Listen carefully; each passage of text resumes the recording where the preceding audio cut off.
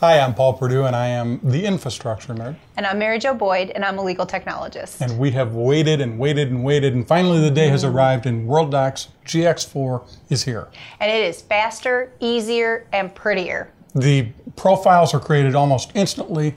Uh, the emails seem to just jump right into Worldox. Can you show us how it all works? I sure can. Okay, so here we are. Don't even have Worldox open yet, but the first feature that I want to show you is the new one-click save. Let's say that you are in the middle of typing a, a, document for a brand new client. Maybe they're not even in Worldox yet to profile the document to. Maybe it's just a, a long document and uh, you're you're you haven't figured out where it's getting profiled or your attorney hasn't told you where it's getting profiled, but you need to save it because you don't want to lose it. Well, with this new one-click save feature, which they call a Worldox Quick Save, you can do just that. If you take this button and click it, you will see Worldox flash and you're done. You have saved the document to Worldox. It is now being included in full text searching. You can get back to it very easily simply by listing your quick save documents. Uh, and you can go on with the peace of mind that your document has been saved, even into Worldox, and you can profile it later. And when the matter gets added to the Worldox uh, table, when your attorney tells you what to call it and where to put it, whatever the case may be, you've saved it, you can profile it later. Very cool. Uh, filtering emails. Um, it's always known what to do with emails once you create your first profile but you had to kind of create those profiles and you had the situation where it didn't know what to do with an email that you receive or send to somebody that you communicate with about a whole bunch of different things. That's gotten a lot smarter. So I'm going to take an example. I'm going to take this email from the skim and I'm going to profile it to Worldox, which means I'm simply going to, in my instance, move it into Worldox. And you'll notice this is a new profile screen. We'll get into this in a second. Very cool. You'll notice that it really doesn't know much what to do with it. So I'm going to say, well, we're going to put this in a certain client file. And uh, we're going to choose uh, the WSC Corp. And we're going to choose this particular matter. And I'm going to say that it's an email. And I'm going to save it as the guy I'm logged in as, Walter Ox. Bam, bam, ready to go. Done. And it's done. Now, if I find another email that's from the same sender, let's see if we can find another skim. I get these every day. Let's see if we can do it this way.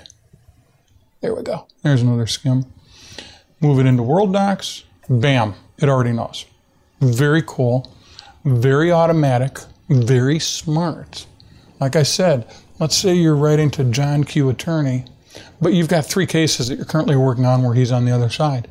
Well, one's going to be hotter than the others at any given point in time, and Worldox constantly monitors where you're profiling it at that time so it knows who you might want to profile it to. And when you profile it to the different matter than you've been doing for the last two weeks, it remembers that and continues to default to that until you change it to something different. A lot smarter than it used to be about how it profiles these emails and how it saves you as many strokes as possible in um, allowing you to, to, to quickly get those emails into Worldox. Okay, another thing Let's go in and look at Worldox. This is the new Worldox GX4 right here. And I'm going to go ahead and close this up. And I'm going to open up one of my favorite matters. Bam. That's the new Worldox screen right there. And that's great. I mean, this, this file list is very simple now, very streamlined. And what you get is uh, something that you have a lot of control over how it looks, much more so than you did before. But they have this new executive view, they like to call it, that takes things and groups them still, but groups them into two columns of boxes so that somebody who doesn't want to see quite as much information can see things more on the screen at the same time.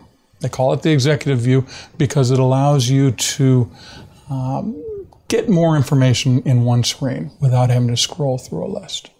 Go back to the list view. It's just a matter of clicking that list view to switch between the list view and the tile view. Another thing that's very cool in GX4 keep in mind, I'm, I'm trying to get you as much of the basic functionality as possible. We will expand upon these things in future Paul and Mary Jo shows and future Worldox virtual user group meetings. Uh, Mary Jo will cover more things in future e-bites.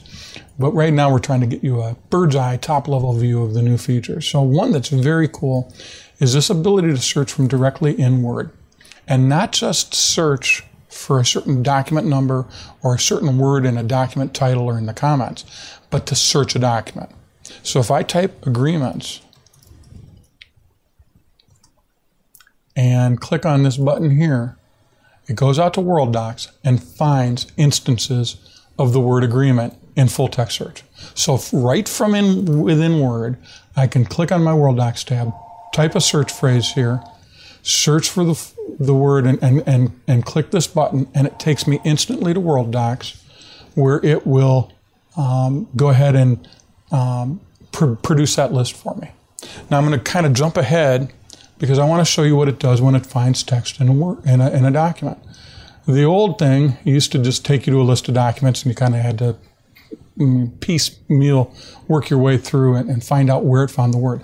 The new Worldox GX4 shows you directly within the list item how many instances of the word agreement it found, which instant it's currently showing you context for, and lets you right here from the list scan through the context for all the occurrences of that word in that document. And then you can jump down to this document, and then you can jump down to this document. Even cooler is that when you go over to this view, you then have, for whatever document you're highlighting, you have the ability to see all the occurrences of the word agreement and to scan through them using these buttons up here. Now, while I'm on this subject, I can't tell you how much I love this new preview mode where it's on the side here instead of the way it used to be on the bottom. I, I hated the old preview. Uh, you really had to slide your, your divider up very far to see any of the document. If, for instance, you were looking at emails, let's get some emails on the screen real quick. Um, let me see if I can find some that actually put in here for this matter you now can simply move through, and I'm using the arrow keys on my keypad, move through these emails and very quickly see the whole thing. You don't, you don't have to um, scroll with this thing. You don't have to see just the header. In the old one, when it was at the bottom, all you could see was from, sent, received to. Well, that doesn't do me any good. I want to see some context of the email. Now I can see it love having the view be over here. Can't say that enough. Let me see what else do I want to show you. Multiple, oh, okay. First off, um, the way that you profile documents is, is redesigned so that everything's on the same screen. So I'm going to take this document right here and I'm going to choose Edit Profile. And this is the new profile. You can select what they call cabinets now. They used to call them profile groups. You can select your cabinet right here without having to jump to a different screen. You can come in here and instead of having to know the number to type, you can type WSC and it will find WSC Corp. You don't have to click the button anymore to find WSC Corp. You can just start typing in here. There is no button to take you to the list. The list is already here you still have your drop down of your most recently used, and you can browse the table this way. But you don't really need to anymore because I can just type WSC and bam, there they are. I can't tell you how many times I've I've learned the keystrokes to go into this list and type Purdue or Lewis or whatever client I want to uh, profile something to. Now I can just do it right from here. Um, categories if you're using categories, you know that they don't really show up on this screen. Um, categories now do. They're right here. They're ready to go for you. They're all accessible right from the profile screen without having to, jump to a different screen to see them. And you can even um, add and edit categories from this profile screen if you have the rights to do that. So you can remove, you can select, You can add and edit categories all from the profile screen. No more, uh, no more need to to jump around to select a cabinet, to jump around to select a client, to jump around to select categories. And if these are the defaults for every document that you want to know, profile from now on, just click Save Defaults. You don't have to go someplace special to create your default document profile. You can do it all from right here.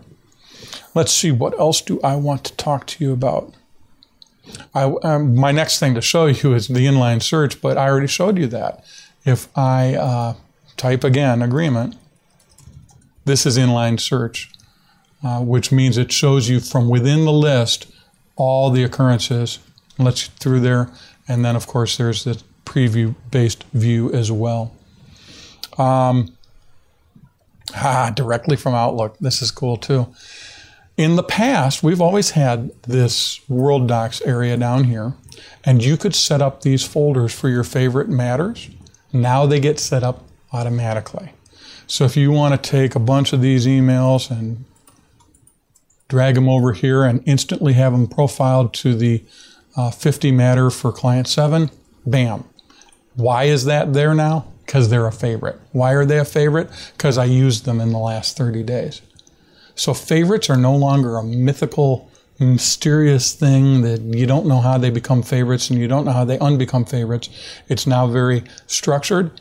It's very dynamic. As you use Worldox, your favorites adjust automatically. You can mark something a favorite right away. You can take this document and make it a favorite just by clicking the heart. When you're looking at a matter, you can click the heart next to it and make it a favorite, and it'll stay a favorite, just like this document will, no matter how you know, far in the future, Worldox has to wait for you to use the document again. It doesn't matter. Once you make it a, a defined favorite, it's going to stick to being a favorite until you tell it you don't want it to be a favorite anymore. But what I was headed over here to tell you was A, that these are created automatically for you, and B, that if you click on the Worldox, you get to run Worldox right from within Outlook. The entire copy of Worldox exactly the way it appears on the screen. So I can now go to my favorite matters. I can uh, I can do anything. Anything I can do in Worldox, I'm in Worldox. This is my Worldox screen. It just happens to be showing up from within Outlook. So I can see every single thing that I want to see in Worldox right there. And the last thing is that these favorites are follow me favorites. That's a trademarked term. My brother is a patent attorney, so I have to say that. That's a registered trademark.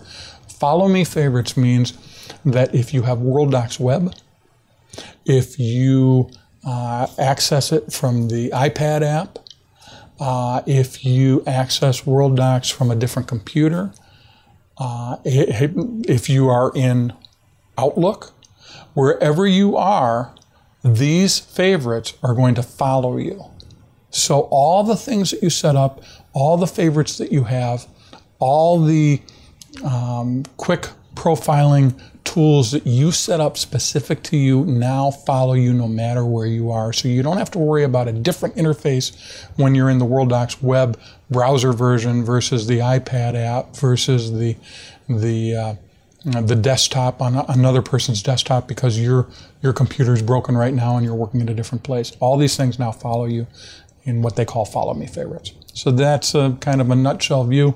Uh, in a nutshell view, a bird's eye view. Uh, as I said, more more later. And that's it. Worldox GX4 in a nutshell. And that's just one more way that we can help you worry less and practice more.